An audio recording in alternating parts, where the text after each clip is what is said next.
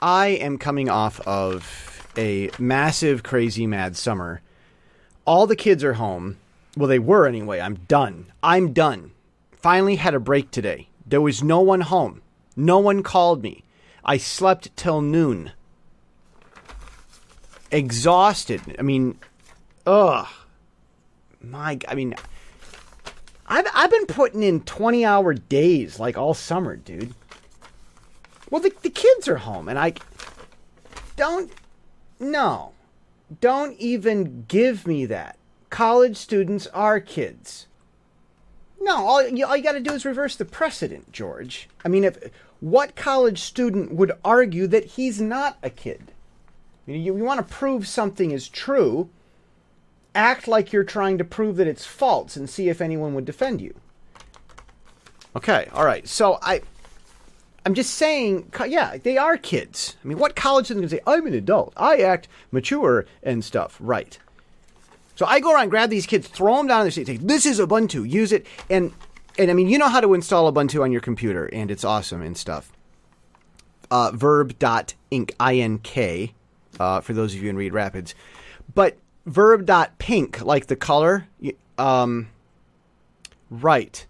Not everybody in Reed Rapids thinks that everybody else knows how to spell pink. P I N K, pink. N as in November. Yeah, I've got this this how this this command line Linux uh, Ubuntu thing that I put together. It's called Shell 101 and it's got some other scripts in there too. And I, I just grandpa. There's just, there's no meta. There's no there's no talking. There's no this is how this does and that's how.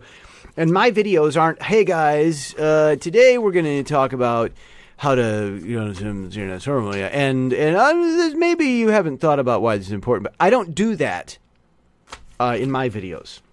It's just not my teaching style. So i'm done with the summer. I'm done going up to asian kids who don't speak english and convincing them to look at these english tutorials and use them to get ubuntu going. They're happy. They love it. Uh, we'll see where it goes I mean, they're going to colleges around the island. And I've said it for years. When Taiwan hits Ubuntu, it's going to transform within two years. I It could happen within a year. But I'm conservatively saying two years. Probably faster, probably faster, not slower. We could see the whole island using Ubuntu within two years. Now, that doesn't mean they won't have Windows on the computers also, but they'll have like Windows there, but Ubuntu will be their main thing and they will not, not be dependent on Microsoft. You know, a guy came up to me this week, and he he really wanted to. I mean, he's a friend, but he really, really wanted to tell me, you know, Jesse, you know, there's no future in this Ubuntu thing. You're you're you're you're you're just, you know, you're trying to convince everybody, you know, that that, that they got to use Ubuntu, and there's just no future in it. Microsoft is the big one, and I go. Okay, what operating system is used in your car's computer? You know, all cars, refrigerators, air conditioners, uh, Android watches, because watches have computers now. What is the operating system they use in all these? Not Windows. Home security systems. Most of those are not using Windows, they're using Linux. You don't even know. You just see the a little button and it works because it's using Linux. And every year, the number of people using Windows goes down and the number of people using Linux goes up, and Ubuntu is number one.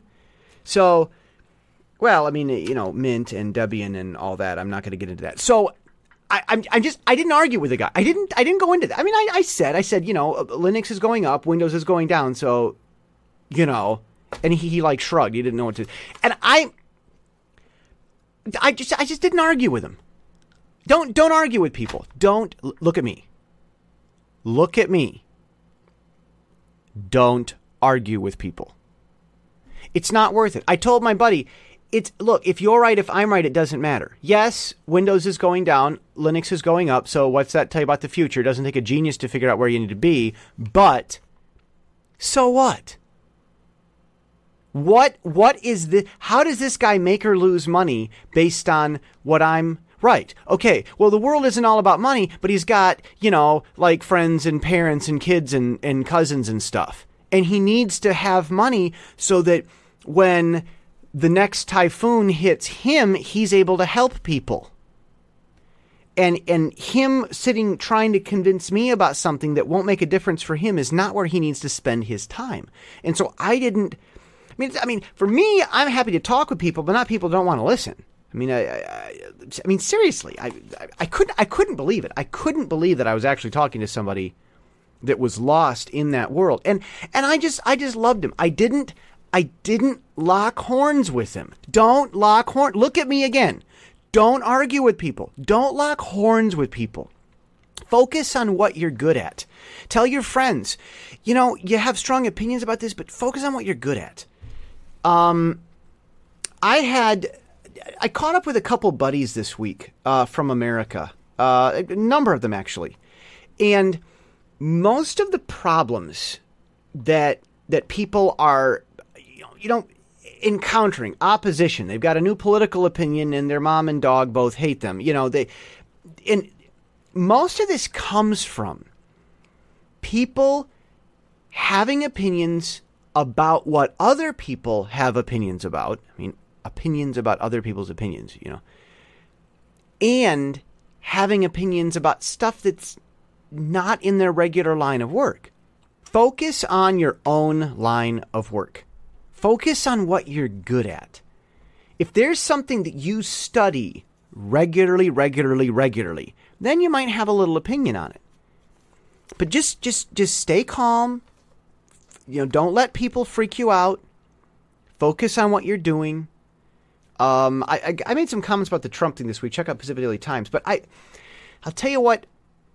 I right now, my personal life, since you're so interested, I've I'm coming down from you know a, a, lot of trying to help people get Ubuntu figured out. And by the way, by the way, if you don't know about Ubuntu, they're going through major changes. All these 64-bit machines coming out all over the place. Ubuntu is going through a serious reinvention. You watch for some fun stuff to hit because they're going to take a hard look at the mirror and we could be do not buy a new computer anytime soon.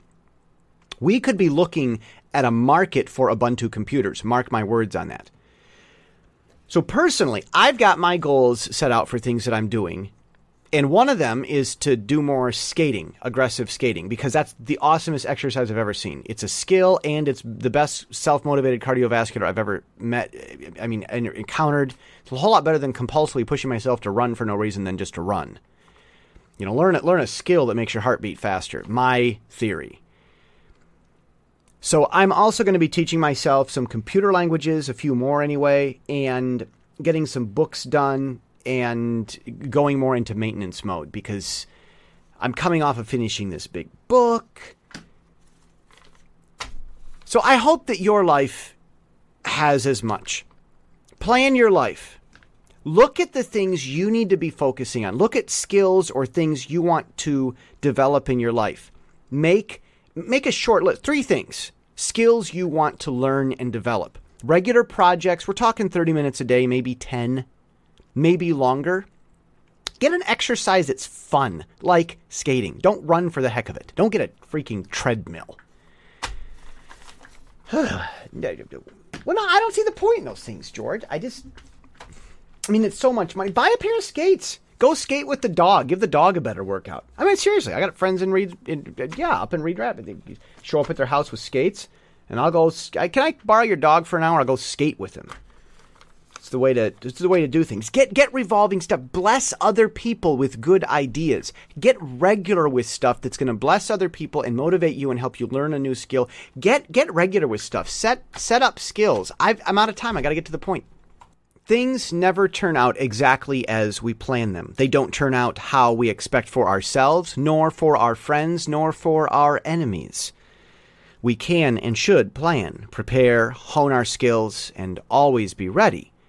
But don't go overboard. Don't fear your enemies. They have enough of their own battles and surprises. Instead, give enemies a little more respect, a little less fear, and a little less hate. At the end of the day, we all are pieces on the grand chessboard of the universe, subject to the surprises and strategy of the grand chess master. And that's the point. I'm Jesse Steele, jessesteele.com.